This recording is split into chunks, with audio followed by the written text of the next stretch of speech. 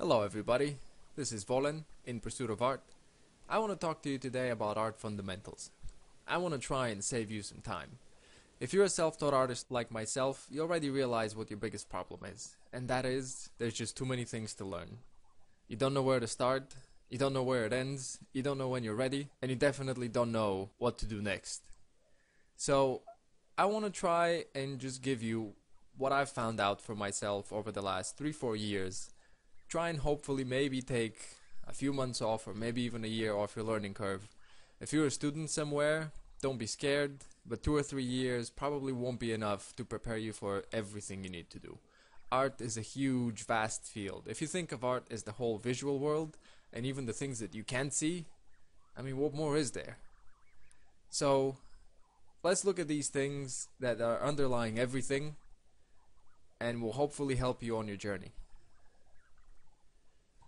So this is the traditional textbook list of art fundamentals. They say it's line, shape, color, value, texture, and form. And that's great. But I think that if you separate the elements, you don't really get a good picture of the whole. And another idea just by looking at the list is that some of these are three-dimensional and some are two-dimensional. And it really makes no sense to combine them together. Also, line is something of an idea. Most of the time, if you're trying to do realistic art, there is no line at all. So let's have an actual look at the underlying things that these elements are part of and what I think are the actual art fundamentals. So everything starts with perception, with our visual system. We're just going to try to understand what makes us see anything and then knowing that we're going to try to deconstruct that process and then use it in order to construct things that other people can see. Geometry and light are the two foundations for constructing any object, whether it's imaginary or it actually exists. These are the two things that define any surface. Geometry is not a very nice word.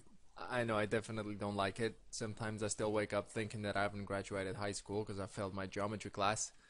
But you can think of geometry as just volume or form. Anything takes up some amount of space. Everything has volume. Everything has a shape. So this is what the geometry part is. Geometry basically defines the volume of an object. And once that volume is defined, when this object is lit, that's when it becomes visible. We use geometry as something of an idea. When we draw, we draw lines. Here we go. We draw lines, we try to define an idea, we try to define a shape. And once that shape is defined, then we light it by shading. We light that shape and then we make it visible to others. So geometry in the way that we use it is almost invisible in the end product. In the end, what people can see is only the light as it affects the geometry. The lines that we use, they're gonna disappear. Let's have a look at this geometry thing now. Basically, geometry is defined by perspective. Perspective is the science of geometry as it appears in space. All that means is that any geometric form, let's have a square. Any geometric form, we know what it looks like we know what a square or a circle or a triangle looks like when we look at it head on. The problem is that when something is in space, as something moves away or towards us, it changes its shape. And fortunately for us, people have figured all that out and it's by now a science. So we don't need to discover anything, we just need to understand it. That objects, as they look when they recede in space, when they are in space, look different to when we have them as flat objects. So this is a square as it might appear to you if you are looking at it straight on. This could be a square. It looks more like a rectangle at the moment. So this could be the side of a building as you were looking at it down the street. This is the geometry of the side of the building. Combine this with light and you've constructed a building. So geometry and light really they go hand in hand. And if I just move this down now, the primary expression of the geometry is perspective. And the primary expression of light how we make light visible is we use value and color. And both of these really are the property of light. Again this gives form to geometry. So this makes it visible. Let's actually have a look at that. So this is basically the geometry we're interested in. We're interested in simple forms because we can use these and we can combine them to construct a lot of very elaborate forms. We're going to take a look at that in just a minute. So you see the lines here. These forms have been defined in a 3D program, so they have lines and they have value. You can see all the sections of every object. So you can see this is the geometry that defines the shape. And then once the light is there, we can remove the lines and we can only see the surfaces. So these are the primary shapes we're looking for. We need the cube because almost any architecture is constructed from cubes. We need the cylinder. We don't really need the cone as much, but since it's one of the traditional ones, we're going to keep it. And we also need the sphere. So if we just take a look at these over here, this is what the objects would look like if they were real. We have a geometry that's already been generated. As you can see, um, these objects take up space. You can see that because of the shadow. You can see it because of where they sit. They take up space in the world. And then when a light source is applied to them, when they're lit, how the geometry is described by the light. So if you were to just look at this, if you had no understanding of art, you would still understand it. So art is almost like a universal language that everyone understands, but not everyone necessarily speaks. So your job as an artist is to understand how this language works so then you can apply the rules of it. So this is what the geometry of the scene would look like. The geometry meaning the volumes and just the idea behind the surfaces. This is what the geometry would look like. And if we add the light now, now we have defined objects, we have surfaces now. And now we can get rid of all the lines. And we're left with just the scene. And this is how it works. Let's close these the primary expression of geometry, what we use, the tool that we use to define geometry and perspective is lines. This is the primary tool. We use lines to define geometry. They're an abstraction. They're something that doesn't really exist. We use these as a way to explore ideas. So we would use something like this to define an object, whatever that might be. We define an object, but in the end, we don't keep those lines. It, they have no part of the final artwork. The final artwork is defined by tones and shading. So the primary tool to express light is values and shading. Values and shading make surfaces visible. Again, lines are just an idea. They're not there. Value and color are the final product of our painting. So value is enough to communicate form. So let's take a look at some examples. Almost any architecture is really just a combination of boxes mostly. If you look at this, this structure, all this is is just if we cut this then we have a prism which is just like a stretched cube so we have a cube and it's been extended a little bit we get a prism. Then from here we just have an angular extension. So really architecture is mostly just angular construction. So if you understand how angular constructions which basically means just cubes if you understand how cubes work in perspective you'll be able to draw almost any architecture. As you can see, big box, sloped angular surface, which is half a triangle, another box, another box, another box, box, box, box, and even the car is a box, and this is a box, another one, and another one extending off the screen, which basically means there's an infinite amount of boxes before this shot and after that shot. Boxes are everywhere.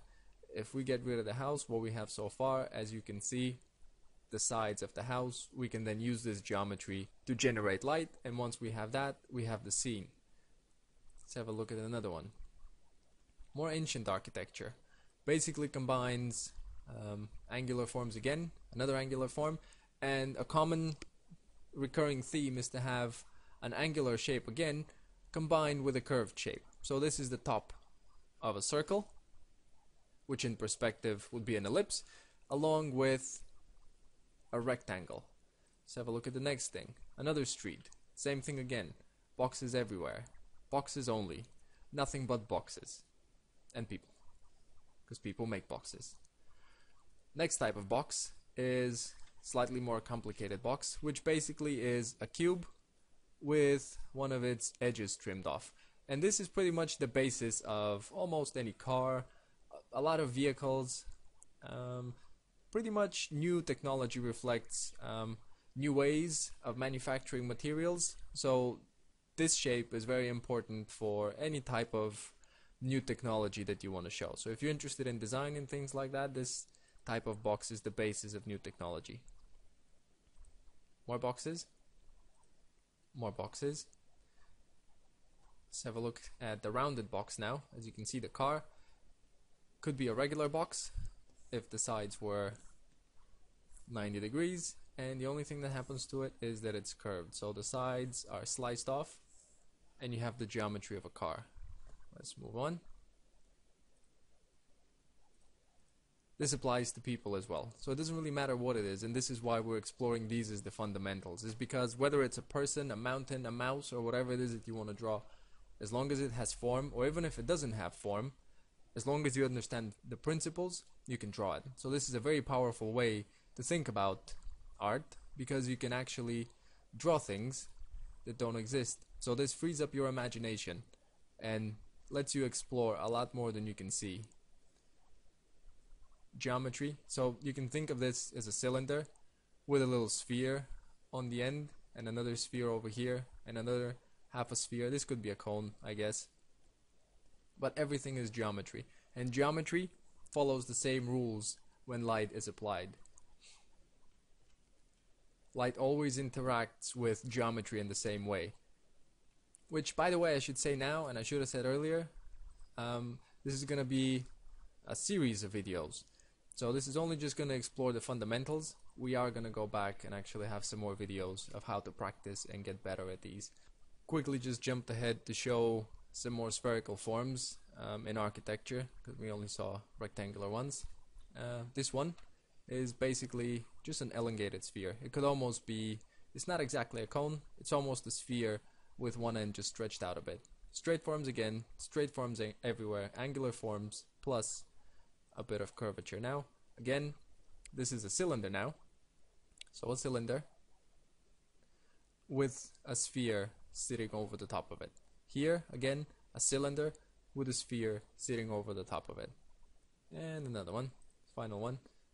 Another cylinder, another cylinder with another half a cone or another sort of sphere cone thing combination on top and a big old cylinder.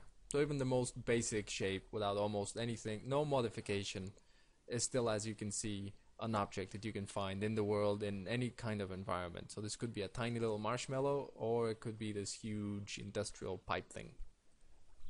Let's have a quick look now at some value and color. Let's look at the basis of those. So value is enough to communicate form. Once we have our idea of geometry and then we start shading, if we just use black and white, that's really enough to convey the idea of the object. But color adds an extra layer of meaning, and I'll show you what I mean. If you look at this, you have a pretty good idea of what it is. You can see that these are some ellipses, so they're tiny flat little cylinders, and then another cylinder going in here. So you can easily, even if you don't know anything about drawing, you can easily make sense of the forms. So really, meaning of the form is communicated to you. But what color does is that it gives you an extra layer of meaning. So you, as the artist, you have this extra step that you can take and get even more from your expression. So just look at this and let's add the color to it. Now what does the color tell us? When we just look at this, we can't really tell where the object is. So it could be sitting anywhere. I've deliberately taken the photo cropped so you can't really tell where it is. But the moment we add the color, you can really use the clues that are given in the color itself to find out that the object is outside somewhere. You can see that there's a lot of blue, which comes directly from the sky, and then there's also this yellow, which I think that's a house over here. The actual sun is coming over here, but there's some warmth over here too. So you can see by the warmth and the coolness, you can actually discern from that that the object is outside because of the way that it's lit. Another um, giveaway also are the hard shadows, of course, and the specular highlights, which, if you're outside, the sun is always going to produce a hard edge shadow. And if we just zoom out, we can easily see now, with even more clues, that it's outside when we add some foliage and stuff like that. So basically, value is enough for you to be able to communicate the essence of a form. This is enough. But when you add the color, then you can add an extra layer of meaning. And color can either have emotional implications because of the way our nervous system has evolved. Uh, certain colors came to mean certain things to us, and we still, on a visceral level, sort of associate with them. Um, or potentially, sometimes you might not want to have color precisely because it might be too much information. You might have a point that you want to make, and it's enough for you to just show it in black and white. and that's why black and white photography and art, monochrome art, could be sometimes so powerful. And here's an image to illustrate that. It's by Nick Brandt. But you can see you don't really need color to communicate what the artist wants to say here, which his book is all about the connection between animals and the environment and people and this whole world that we're part of. So you might want to remove the color sometimes. It might not be necessary. That's a decision that's up to you. Going back again to our main list, and let's reveal some more of it now. I should say that there are two ways of drawing when you're drawing, when you're generating geometry. So I keep talking about generating geometry, but you don't actually need to generate anything. If you're interested in doing portrait, portraits, let's say, or doing still lifes, or just basically visually drawing, meaning just drawing what you can observe, then most of the time just a simple outline is enough. The method of just looking at alignments and trying to see which part of an object aligns to another part of it, so just basically generating an outline like this one, this is enough to be able to reproduce an object as it appears. So if this is the final, this is the object of the study, and these are the steps of the study, this is how we would start. We would just have a background, and then we would try to generate an outline based on where things align. So I would look at this cheekbone, and I would see where it aligns on the collar. I would look at the relationships of forms. So cheekbone aligns with the collar, and then the ear, let's say, aligns with this bump of the shoulder, and then this is the outermost edge of the drawing. So if we look at these on the outline, that's basically what we're going to do. We're going to look at these alignments and we're going to try to reproduce them. So cheekbone is over here. We're going to look at proportions. We're going to start measuring. We're going to have the third of the face, the thirds of the face. We're going to do all the things that we normally do when we try to draw. We're going to measure things. We're going to compare width to height. We're going to see how many times the width fits into the height of the object we're going to try to get everything correct graphically. Which basically means we're just going to look at the shapes and try to reproduce them. So when we go and when we start adding light, which we can also call coloring in this context, we would simply start and we would try to reproduce the shapes that we see. So we would reproduce this shape, we would reproduce this shape to duplicate the shadows, we would reproduce this shape to put the lips in place, would reproduce the shadow shapes and the light shapes and this is how we'll generate our final painting. This is the 2D method of drawing. Now there's also another way of drawing and this is the 3D method and it's the way of understanding the underlying geometry and this is basically using perspective constructions. So these objects now using this method we can actually construct things without needing to have the actual things either exist or in front of us. So this car, uh, this was done, I can remember, I think without reference, or I might have just been looking at a car as I was doing it, but this was constructed and not copied. So this is a method of basically defining boxes in perspective and then adding shapes to the boxes or subtracting shapes to the boxes. So if you would imagine the car as one big box and then another smaller box on top of it, this box is basically just missing its front corner and this is where the windshield comes from. So if you understand this, and I promise you it doesn't take too much to understand, and I will make more videos about how to actually learn that stuff, this now frees you up to be able to draw or paint from imagination, as long as you understand the geometry and also the light. And the light also has a few more steps. Once the geometry is generated and defined, once we've decided on our values and colors and everything else, we need to also think about materials. And we also need to consider lighting. Where is the light coming from? What's the light source? Are there different colors of lights? This is what generates a lot of the complexity of light interactions in the world, is that there most often are different color light sources.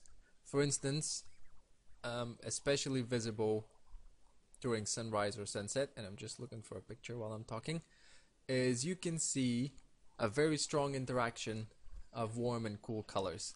So the sun in this picture was behind over here on the left. So the sun is on the left, far off, and then everything else is just skylight.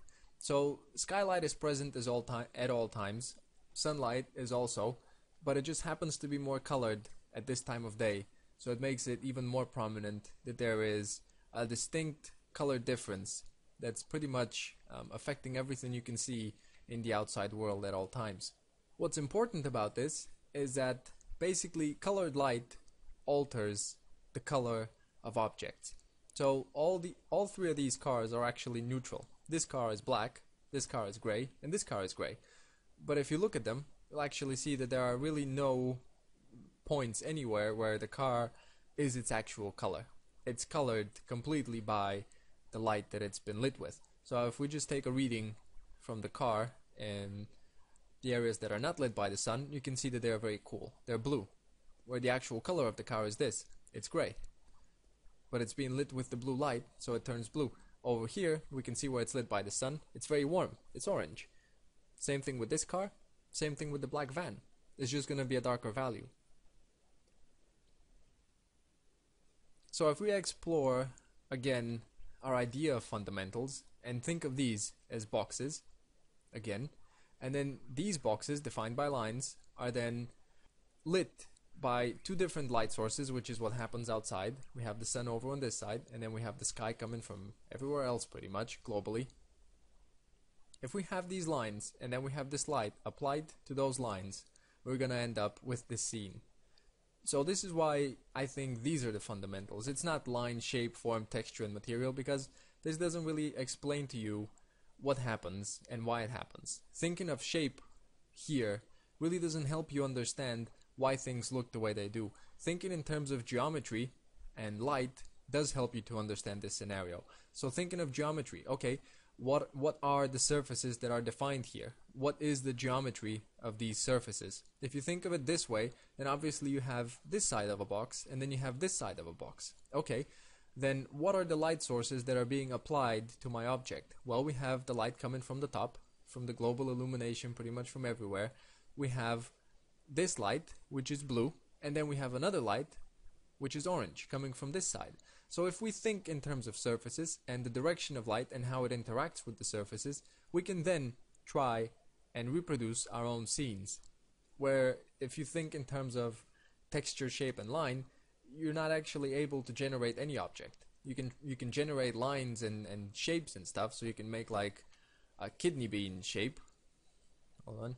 You make like a kidney bean shape and then you can make another type of shape. And yes, these are both line and shape, but this doesn't really help you think of okay, how am I going to shade this or why do I even shade it at all? Why do I do that? Thinking in terms of geometry and light does help you think, I think, better about how to approach any scene. Let's have a few more quick examples and I hope to keep this short guys but okay. So here we have another one. Another just this is called a Cornell box by the way. Cornell is C-O-R-N-E-L-L so if you look this up there's a lot of different types of these and I'll just show you a few different ones which basically these are 3D models that people use to see what materials would look like when they're lit. So it's like a light setup test thingy. But you can use the, these ones to just see the effect that um, colors have upon each other. So if you look at this, this is gonna be a matte neutral color box. But as you can see, none of it really is neutral color. You have all this blue coming in from this light, from this side, which is basically light coming from here, bouncing off of this wall, hitting this wall everywhere, just illuminating it fully in blue. And then you have this wall illuminating and it, this one as you can see is further away from the cube. So not as much light as the blue coming from here gets to this side. Then you have the yellow over here. And then you even have some green which this green forms by the blue of this wall hitting the yellow of this cube and then this jumps on over here. Wow. Again thinking in terms of line and shape won't help you but thinking in terms of geometry okay, this is a surface, this is a surface, this is a surface, and again, more surfaces over here. There are distances between these surfaces, and there is a light source. What happens? Well, it might be hard for you to guess, but look at enough reference, try this enough times, and you will be able to guess, and you'll be able to do things from your imagination. Another scenario, this time this is a chrome ball, and this is a glass ball, and you can see the different things that happen here really explore these. Look at as many different things as you can. As long as you think in terms of geometry and light, you'll be able to understand things better. And even if you don't understand even where to start from, just knowing about perspective and knowing that you need to look at light, that narrows your scope to learning so much more than if you had just started and looked at all these abstract concepts that are offered in books that really give you very little practical application if you don't understand the physics of what's going on underneath everything. I know this video doesn't explain everything. It's impossible to put it in a video that's less than what 50 hours long. So let's recap and look at everything one more time. Everything starts with perception, with how we see the world. We see the world by the combination of geometry and light. Geometry is basically the volume or form that shapes take in the world or shapes that we generate, basically the volume of anything. And light is what makes that volume visible. The interaction between the two give us our art fundamentals, which basically means this empowers us to understand the building blocks of our visual system and thus be able to produce our own shapes or just understand what we see better so then we can make better decisions about how to represent it.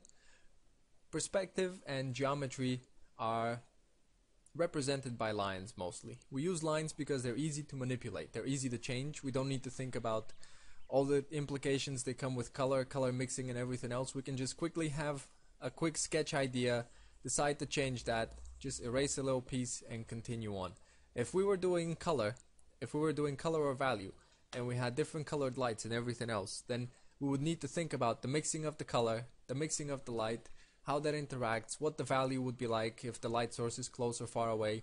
So a lot more things before you have a clear idea of what to do. So it's better to just work with line. They're used as an abstraction, meaning they're just for us to explore ideas, and they are a sort of an idea. They don't actually exist in the final painting. And again, there's a 2D and 3D mode of drawing. You can try to construct the things that you see, which empowers you to then construct your own objects.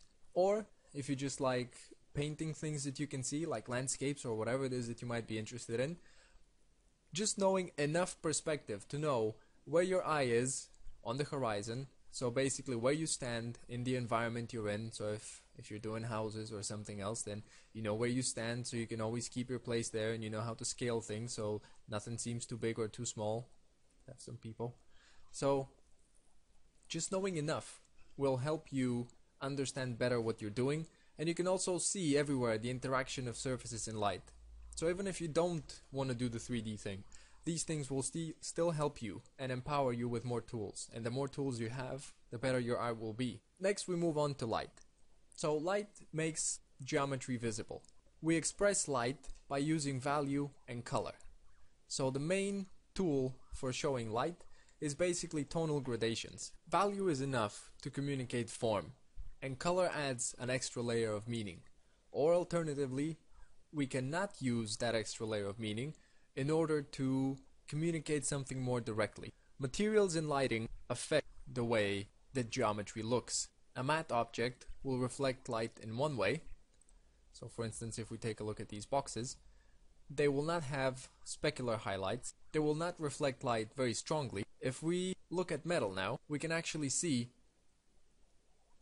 how this metal, how this surface reflects light so much more. And actually we can just compare this surface, which is a matte surface. There is no specular highlight.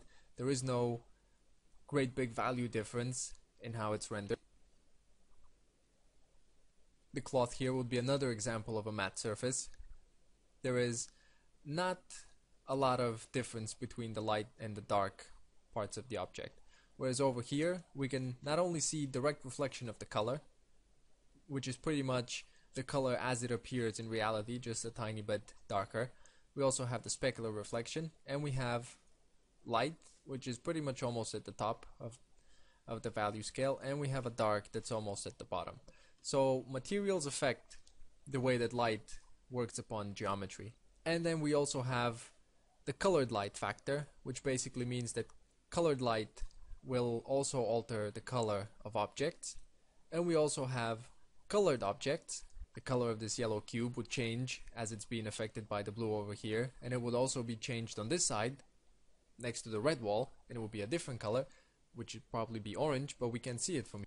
How we know that it's going to be orange is we need to basically study different colored lights and how they interact with different colored materials but again this would have to be in a different video because otherwise this video will never end. Now the final thing and what happens when you do spend the time to study the technical aspects that you might not want to study, what happens when you're done with all these and when you've put your time in and have done a good job is that you unlock the idea based components behind art. So everyone really, when they want to become an artist, everyone starts with an idea.